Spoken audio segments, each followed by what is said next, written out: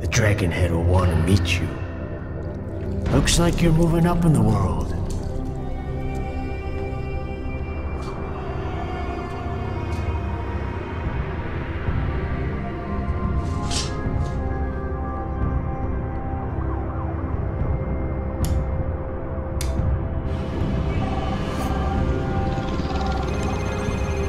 It's Raven.